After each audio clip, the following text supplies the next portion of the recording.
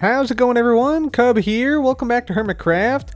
Last time we went on a shopping spree, we enchanted our Elytra, and we also made a bunch of maps in anticipation of today, hopefully mapping out the entirety of the island here on Hermitcraft. I've been gathering a little bit more gunpowder here, and we also are going to need some wool for banners. So I'm going to grab a little bit of wool here. I've made some shears here with our very small supply of remaining iron. So let's go ahead and see if we can grab ourselves some wool here. We're going to need to dye this wool into different colored banners. And I think we're going to assign each person a different color. This horse, don't jump into the sheep pen, man. Don't, don't, don't do it. Don't do it. he wants to, but hopefully he won't. Anyway, let's go ahead and just get all this wool we can here and hopefully we can find the dyes to make some banners because we need we need quite a number of banners because we have a lot of people playing on Hermitcraft right now and he did it! The madman what a guy! He did indeed jump in. Okay that's fine. Everything is okay. It's not going to be a total disaster getting out of here. Okay there we go. It's actually pretty easy. Nice. All right so how much wool did we get? We got over a stack of wool. That's not going to be enough so we're going to have to come back here and get some more. Uh, by the way, I did visit Ren's shop off camera in the previous episode, so I think we're going to go back here. It's pretty it's pretty cheap to get uh to get some of these things. 32 rail. I know Ren's making a rail network in this season, so we might have to get him some rail. I think we have over 32 rail, but that gets us a whole stack of chicken. Yeah, you see we've we've uh he's had some purchases here. So that's fantastic. Uh, and yeah, I think I might let me see if I actually have any rail in here right now. I don't think I do. No, I don't. I don't. But yeah, we will be back here and probably purchasing some chicken from Ren throughout the season. Uh, this building, by the way, is very nice. It's supposed to be like a tavern type of area. And it has like a little boat dock over here and everything. So I just wanted to show this because I don't think I showed this as part of the shopping spree. But uh, yeah, I do think it's a pretty nice, nice shop. Even if it is in the incorrect area here. Um, tip jar, there's beds here. Yeah, so it's a nice little location where you can sleep. That's sort of in the center, center of the map as well. So that's fantastic. Let's go ahead and make our way back out here. See if our horse wandered off. Of course he did. Uh, I'm going to find my horse, and we're going to go back to the base, and we're going to see if we can start filling out some of these maps. Alright guys, so we're back at the base now, and we're going to get some gunpowder out here. I think we should have a little bit of paper at least, so this should give us a little bit of rockets. Still kind of strange that they don't have any rocket recipes in here, uh, considering how sort of crucial these things are for moving with the Elytra. Like, you basically can't do it without rockets, uh, and not having it in the crafting recipe. At least the tier 1s, uh, or the tier... Like, there's only three of them, right? So they could put all three in here, honestly, but... Um, yeah, I'm not sure why they haven't done that yet. Anyways, uh, we got over a stack of rockets here, which is not too shabby. And I also have some stuff I need to put away here. I'm going to gather a little bit more sugarcane here, and then I think we can start to explore a little bit, start to map out things a little bit. So let's go ahead and we will just grab some more sugarcane here real briefly. There we go. Make ourselves some more paper, and then head out and start to map the area. Alright guys, so here's what we're going to do here for the map. So we have this map of our starter base right here. We're going to go to the north here and map out five maps to the north. That might be too few or it might be too many. I'm not really sure. But we'll have to determine that as we go. And once those are done, we should be able to determine more accurately like the scale of this whole thing. So let's go ahead and do this. We'll put this in the offhand here. And we also need to grab the Elytra. Pop this on here. We have very little armor and also our boots have already broken by the way. So we got to be a little bit careful here. I'm going to put out the five maps like so. Going to break this chest and let's go ahead and get on up. Take this right on up here. Very good. And so let's go ahead and go this way. We're going to go to the north and start to map out the region. Alright, so once we get into the next region, fill out the map. Alright, nothing too major here. Wait until we get to the next region. Fill out that one. Yeah, this is so much easier than it otherwise would be. I'll fill out the next one. Alright, we're getting out to Scar's Pirate Island area now. And it looks like we might need another one here, perhaps. Or maybe not. Actually, I think we might be okay. Yeah, we might be okay with this as the northern extent. We'll see. Let's head back to the base. I want to fill out a few more maps and see how the uh, the general shape of the island is looking on the maps. Alright guys, so we now have this first column of maps done, and it's looking like the island might fit on this. We'll see. I think that basically we might have some people's bases just outside of this map. We'll have to see though. I know Cleo's base is like right off the, the coast here. So we'll have to see if that one makes it on or not. If not, we can always add in another uh, row up top here. Now we're going to go to the east, see if we're alright in the east direction. So we're going to grab these maps off of here like so. There we go, just like that. And we're also going to grab this one right here. Very good. And we're going to go to the east and see if we can fill this out and make sure we can fit the whole island in in this direction. Alright guys, we now have a row filled out here, and as you can see, it's almost as wide as the island right here at this point, and I think the island gets wider as you go up like into this region here and into this region over here as well. So we may need to expand the maps onto the side a little bit and vertically as well, but we'll have to double check that and make totally sure uh, if that's the case once we get all the rest of these filled out. So I'm going to go ahead and do that now. I'm going to go ahead and fly around, fill out all these maps, and we'll sort of reevaluate and see where we're at. Alright guys, so here's the main island as it currently stands. We've now filled out uh, all the maps we had initially here. And I'm thinking we need to go a little bit bigger. So we need to increase the size of the map. I think I'm going to go one bigger all the way around. So add one row on the top, one row on this side, one row on the bottom, and one row on the opposite side. So we're going to need to basically clear this part out, essentially. So we're going to clear all this out. We'll clear all this out. There we go.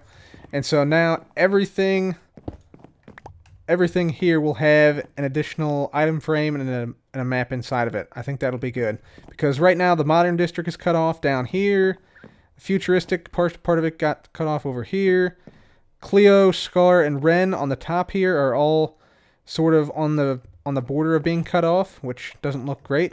And then over here, this part of the island got cut off in this section. So one more sort of ring around with maps would be nice. So I'm going to go ahead and do that now. I think we need another like 30 some maps and 30 some item frames. So going to be kind of a big project. Got to go kill some cows. Got to go make some item frames. Got to go get some more iron as well. But I think it'll be worth it in the end. So let's go ahead and do that. We'll do one more ring around this map. Alright, ladies and gentlemen, so we got the big map complete here. So this is the entire island right here, or almost the entire island, I should say. We're missing a little section of the island up there, the main island up there. But nobody's living up there right now, so all is good.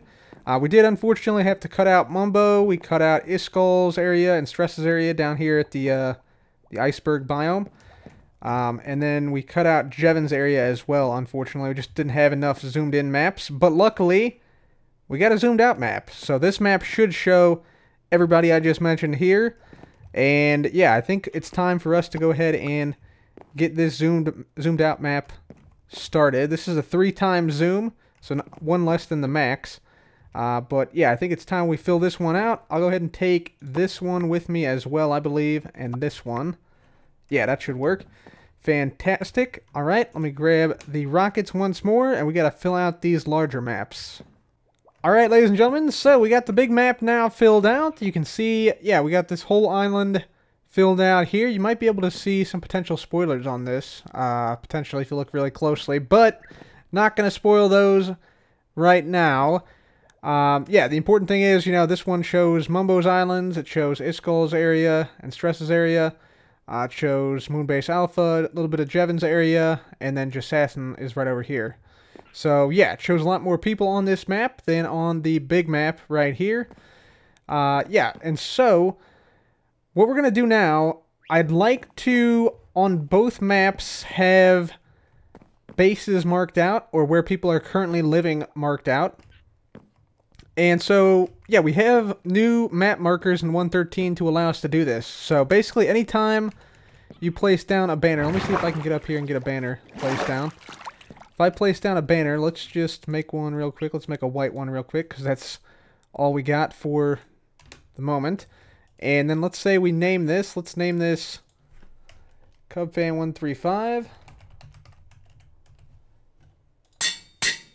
There we go. And I'm just going to put this upstairs in my house. Right. I want to place it right here? Yeah, I'll place it right there. There we go. So we'll place that down right there on the wall. Then what we can do is we can come down here, grab our map off of the wall, and then also this one here, I believe, is the one we're on. Yeah, this is the one we're on. Then we'll go back up. And then we can just simply right-click on the map there, and boom, there you go. CubFan135 marked on that map, and then we do this one as well.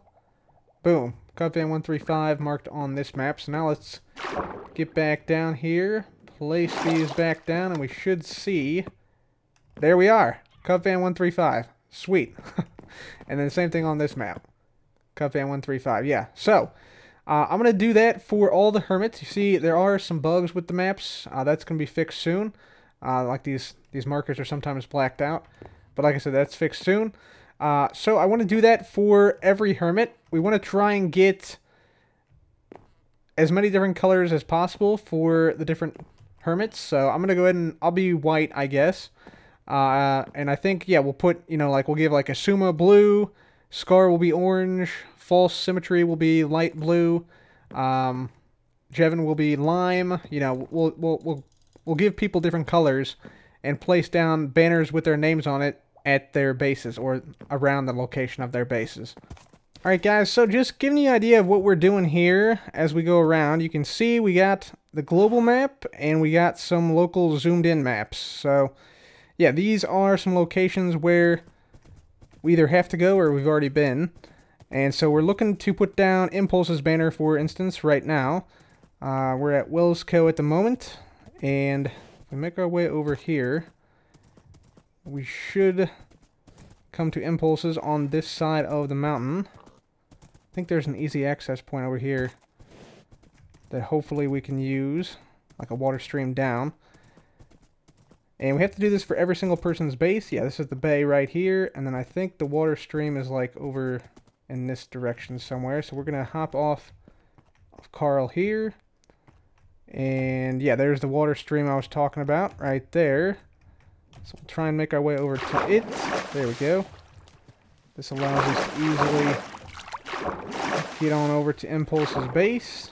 And so, once we're here, um, let's see, we can go ahead and place down Impulse, SV right there, and we just got to look at which maps he's on. There we go, Impulse, and then there should be another one, like a localized one he's on, assuming I picked the right one up. So let's see if we can find that one. Is that it? No, that's not it. That's not it. This has got to be the one right here. This it? Yeah, this is it. Boom. And there he is. So now he's on the localized map as well as the global map. Sweet. Okay, cool. So that's all we're doing for every single Hermit's base. And yeah, I got a lot more to do, so let's get to it.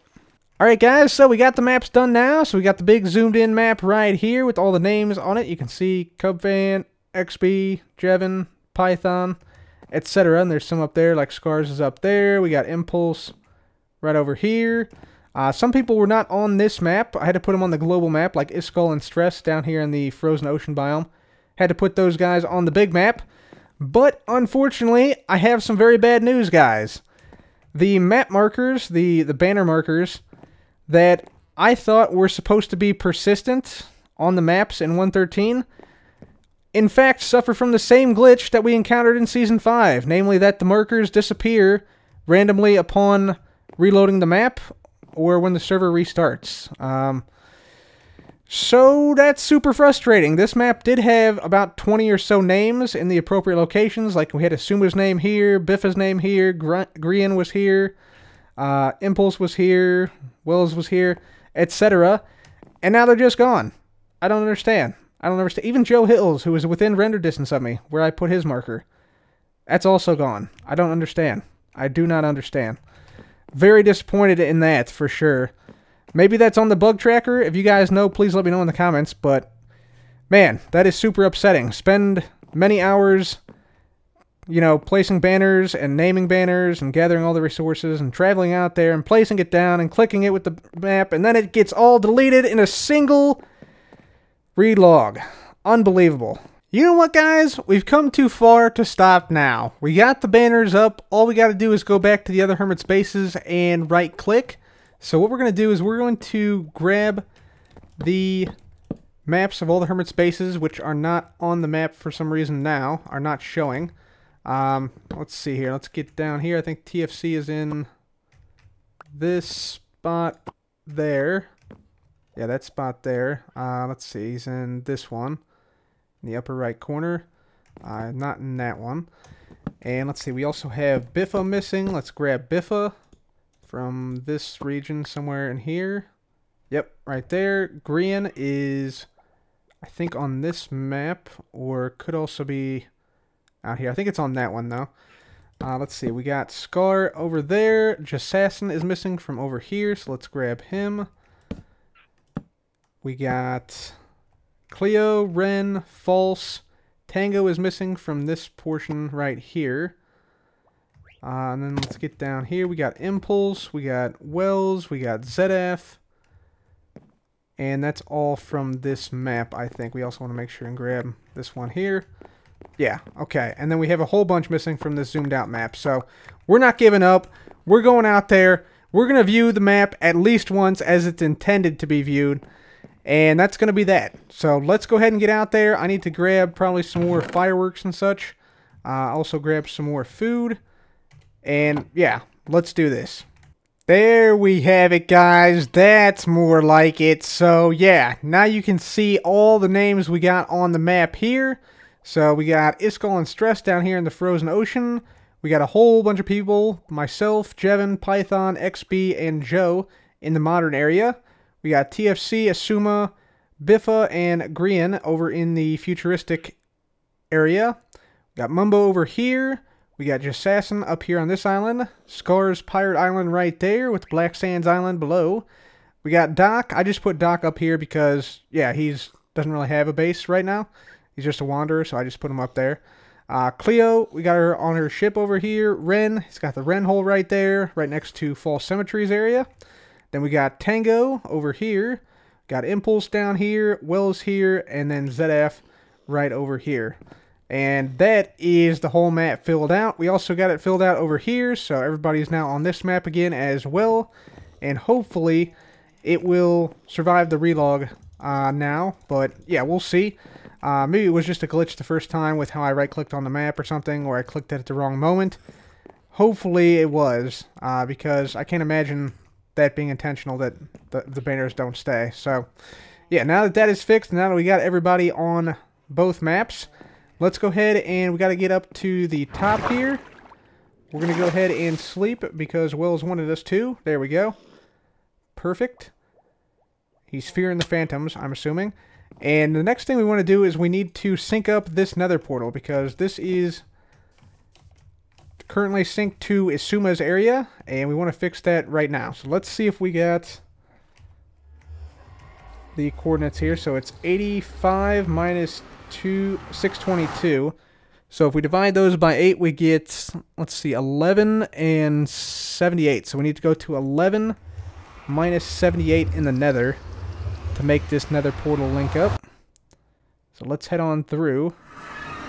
And let's see where we need to be at. So let's see. So we're at 12, so 11, and then minus 78. So it looks like right up here somewhere.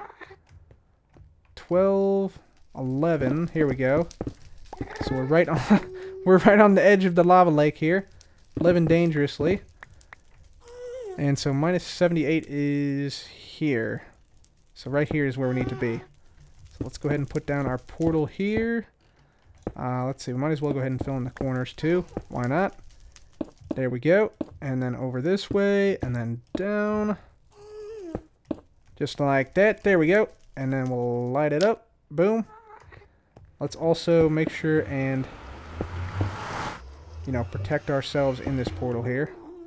So that we don't, you know, accidentally... Let's just do this. Just dig around the side here for a moment. There we go. Perfect. And then let's get through here. Very good. Okay, so this should link up, hopefully, to our nether portal here. Let's just uh, put a nice little rail right here. And actually, we might want to, like, box it in a little bit. There we go. That should be good enough, I think. All right, let's test it out. Go on through. Hopefully this leads back to the right one. Yes. Okay, perfect.